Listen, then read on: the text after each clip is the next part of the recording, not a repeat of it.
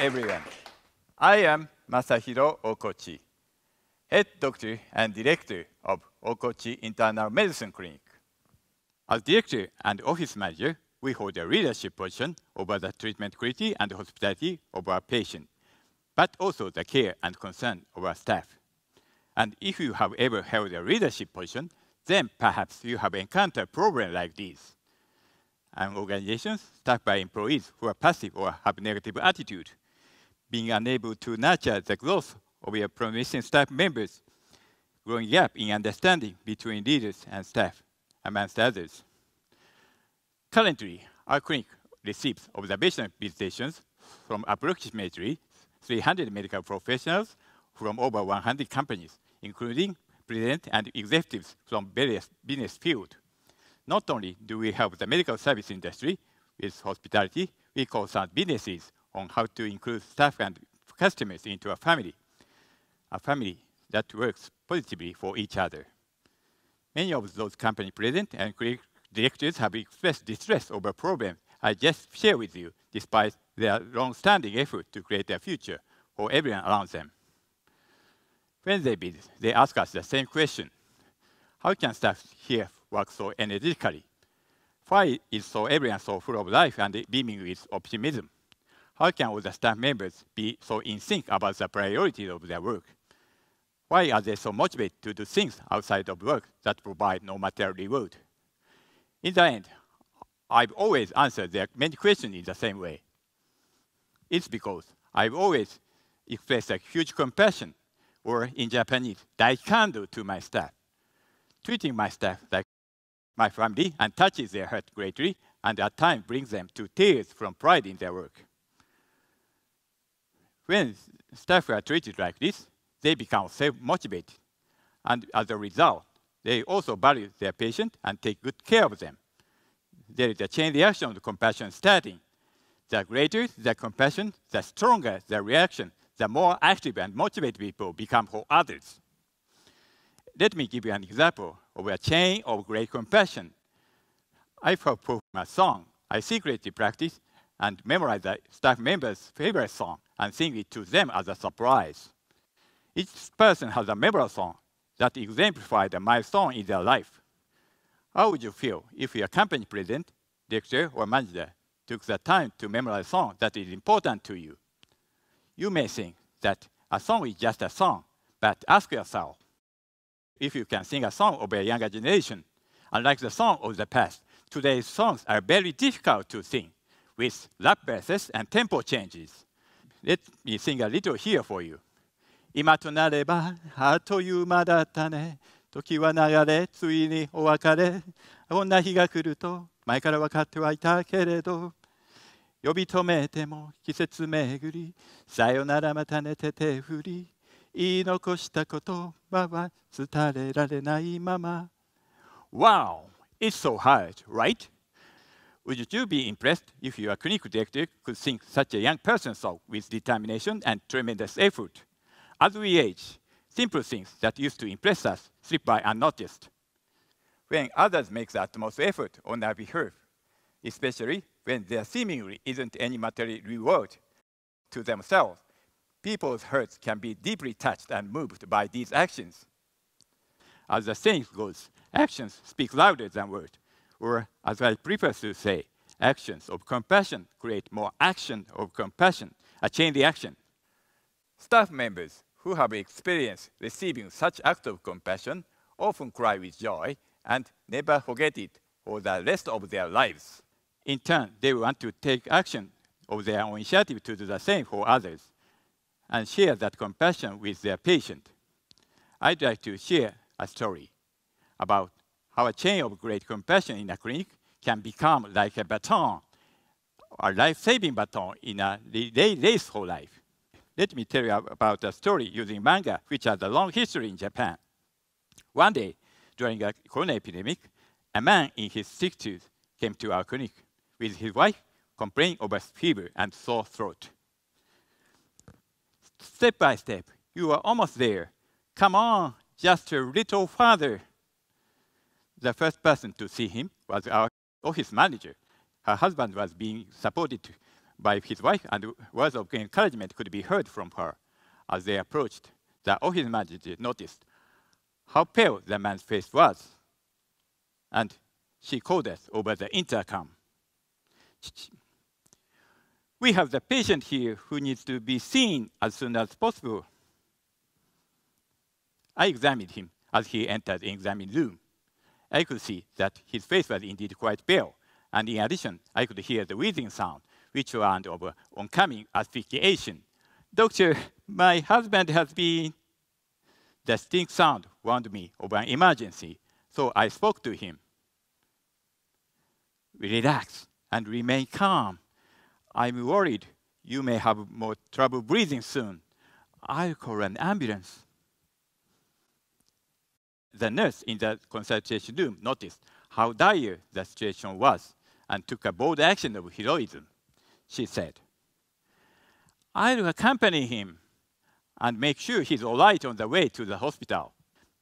But even at the city hospital, his condition was too severe, and they recommended him to a larger university hospital where he can get more advanced treatment. The wife was shocked that the husband's condition was life-threatening, and she started to fear for the worst. Her daughter arrived, and she too was distraught with the situation. Mom, what's happening to dad? I don't know. We just have to hope and believe. Yeah, but if my husband is gone. Our nurse took action. She hugged them both and rubbed their back and told them, He won't. He will absolutely be fine. I promise. The medical professionals are doing the best they can. Believe in them. Yeah, okay, thank you. Dabbing their back and continuing to encourage them as long as 30 minutes, then as they parted, she handed them her business card and said, Please contact me anytime if you have any concern and left. It turns out he had been suffering a severe case of pharyngolaryngeal edema and abscess. This is a bacterial infection in the throat that causes swelling, shrinking the airway.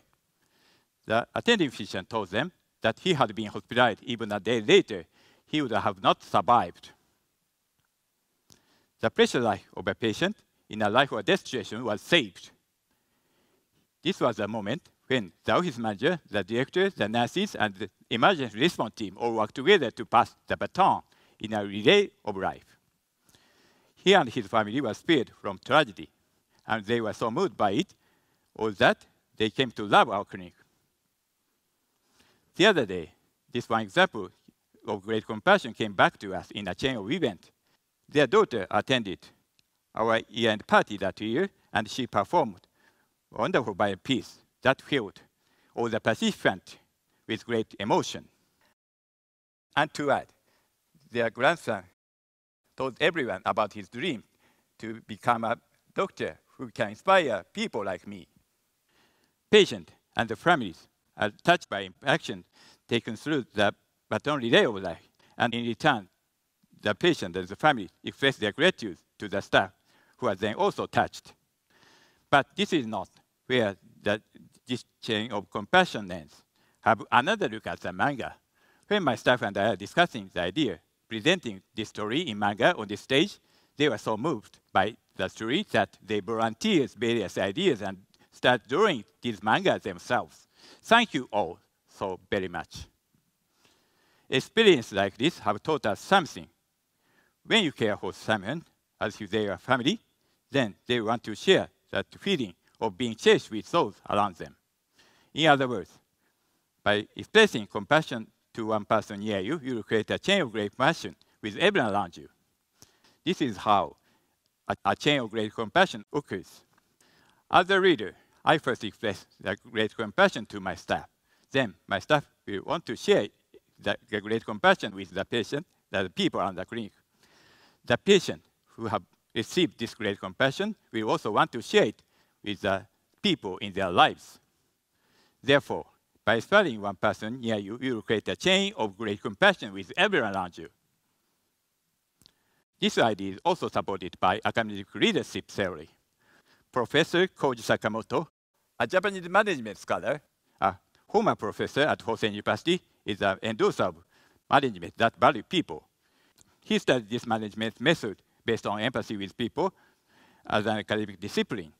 According to his theory of corporate management and leadership, there are two ways to manage a company profit and expansion oriented management, and people empathy oriented management.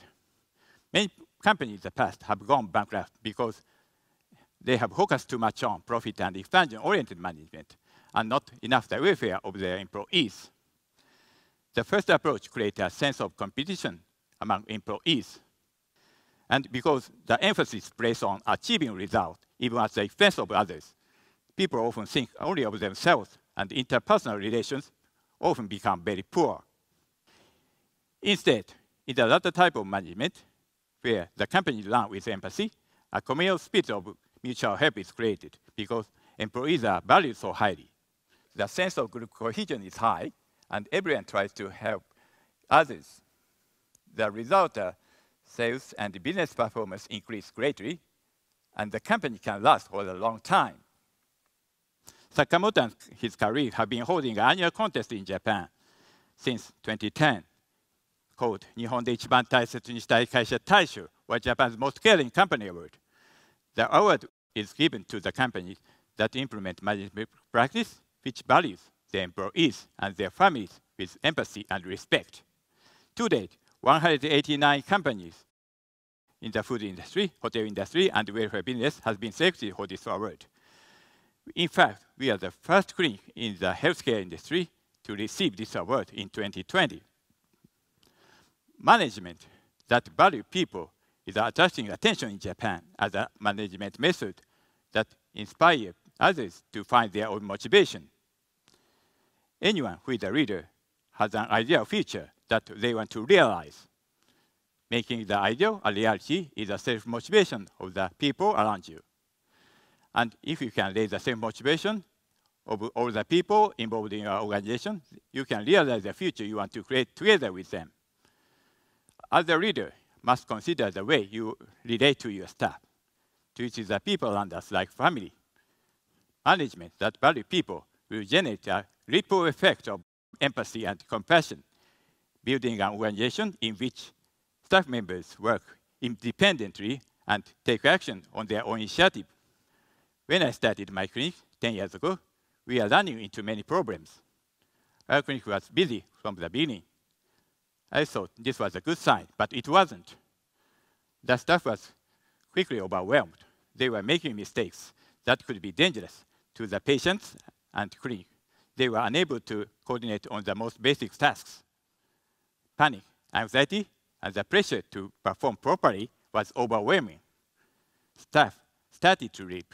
Drama between who to blame for the clinic condition spread like wildfire, and bankruptcy was imminent. Actually, after reading, studying, watching, and imitating organizations, staff-oriented, not profit-oriented, the changes came. My staff became my children, and like a good parent, I helped them succeed, and the clinic is where this is today because of them. I have always envisioned a future like this, a world in which everyone works with vitality, happiness, and brilliance, a world in which organizations do not solely focus on profit or expansion, but value people, especially those with disabilities, holiness, and other socially disadvantaged people. If people are taken care of like family, then the weak will no longer be weak.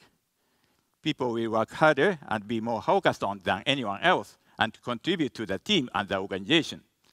So as a result, profit increased and expansion will occur naturally, showing that organization management was successful there are challenges to people-oriented management. Everyone is different. Not everyone will respond to compassion in the same way. And sometimes there are people who are reluctant to change.